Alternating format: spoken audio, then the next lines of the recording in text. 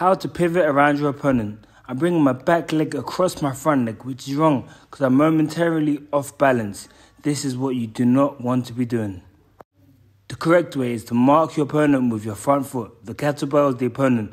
I'm marking it, and what I do is I pivot round. So imagine my front foot is nailed to the ground, and I swing the back foot round. The front foot does not move. You really need to ensure you keep the same distance between your two feet.